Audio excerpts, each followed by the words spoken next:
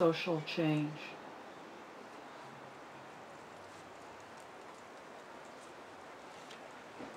I'm going to start with a very short poem and um, it'll get worse. Union by Jen Benka. Locked link.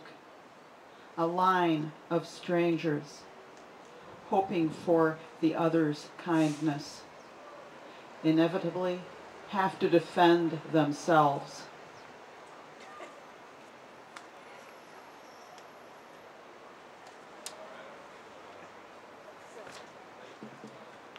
This poem is by Dobby Gibson from a book called Skirmish. This poem is called Fortune. Every image fosters an image. Each act enacts itself. If the animals could speak, we might be surprised to learn that what they've been so desperate to tell us is that many are in tremendous pain. The farthest you can travel from these kinds of thoughts is to never father the very children who have them. Good news, it may not be too late. If you want to know whether or not your Mississippi works, look down from above to see if its leaves are moving. And one more poem from Skirmish also called Fortune. Your national anthem is whooping cough. Lava is belched forth from the bottom of an unexplored sea. At some point, your idea of a good time became simply the idea itself. Somewhere the assholes are comparing cell phones. Somewhere the insurgents are huddling in a cave. Before wheeling the mannequin into the elevator, the stylist unscrews its arms. Some parts of us will always be extraneous. Your neighbors are about to name the new school mascot after an animal the neighborhood has never seen.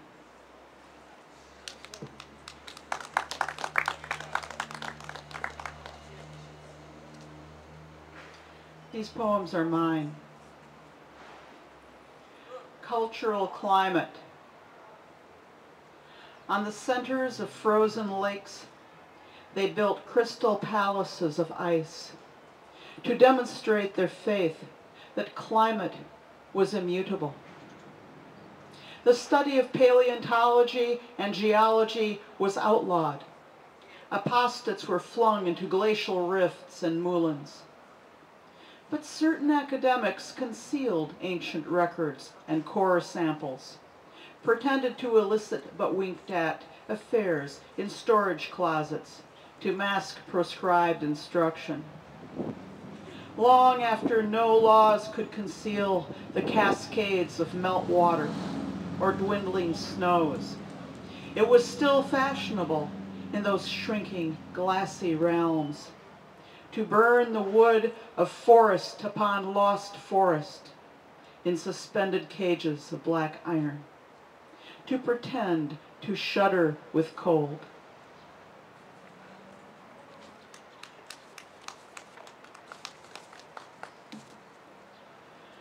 Radiance.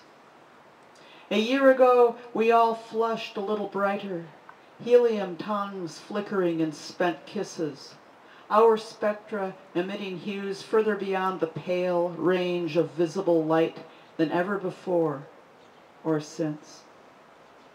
Fusion anomalies are to be expected, but we were nevertheless a shade discouraged at the ominous, unjustified, no doubt, implications of our decline.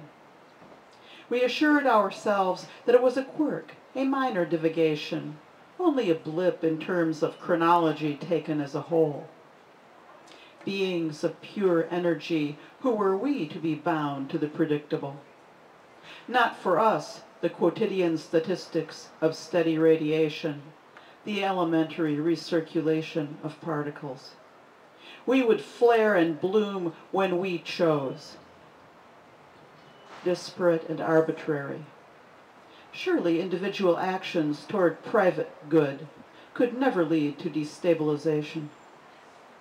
While we mutually assured each other that the event could be safely ignored, all entities privately resolved to increase their own output, output for personal benefit. We smoldered sub rosa, wrangled over domain, threw caution to the stellar wind. The stories surrounding us were chambers of dissipating smoke as we detonated our carbon core. Bright petals from a blown blossom, we drifted on an eternal river of night.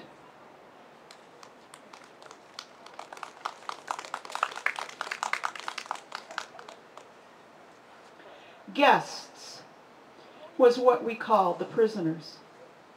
The term for us was contractors. We saw ourselves as insouciant sunbeams, a cult of gentlemen rogues rendering extraordinary service, wielding scientific methods. Sometimes just our fists were enough. Ultraviolet lights glared around the clock. Gook was the yellow syrup they exuded under applied stress which resisted scouring from interrogation room floors no matter what corrosive chemical rinses and surfactants were applied. We had the cafeteria wait staff remove the reminiscent mustard from the condiment Lazy Susans and blunt the cutlery. We threw bread balls and surfed on the sizzle of duty-free liquor, transported all the way from the world.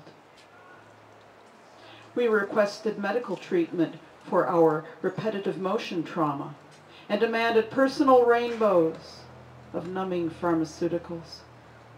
Clearly, flaws were already present. Organs that might not have corresponded to ours burst like eyeballs swollen with glaucoma or rupturing souffles. The fluid spewing out reminded us of the slick, inspirational harangues a representative from HQ delivered at every week, propped at the rec room podium while we fossilized on folding metal chairs. Flowcharts slid into view titled, Results Are What Counts, as he prodded the controls, promising bonuses. He said advantage and incalculable, and what sounded like gold rush. His entourage gawked at the parade as we herded guests to a narrow stretch of shore where we kept them behind electric nets between sessions. Ponderous as glaciers, or cumulus rising into windless air on a summer evening, they looked like miniature belugas or giant albino muskrats, bellies billowing in the shallows as they huddled together. Not mammals, despite their warmth. Not like us. The poignard spike of keratin jutting from each orbital ridge was removed surgically at intake processing. The greeting ritual, we called it. We gave them names. Marshmallow, Cream Puff, Cool Whip. Scarified them with ID markings. They never made noises in the audible frequency range, but we started wearing headphones anyway. Dark lenses and heavy gloves were already part of our uniforms. One of the dishwashers let slip what the first behavioral psychics had discovered.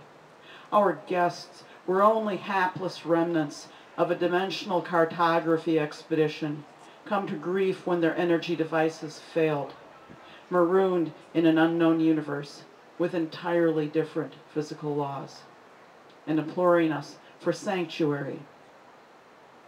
Less gullible advisors were quickly sent to oversee us, stun batons poised. Guests were stubborn, we were told, and could withstand further vigor. We ran into snags. Our glowering controllers applied a sort of triage Those ruined irreparably would serve as examples to the others. Surely survivors would bargain as they became desperate and reveal their arcade inheritance. We underwent further motivational conditioning. Some of us were also used as examples. When inchoate panic set in, our replacements were already in orbit above the facility. We knew then that no one was going home. After flooding the administration dome with gas, we went down to the shore for the last time.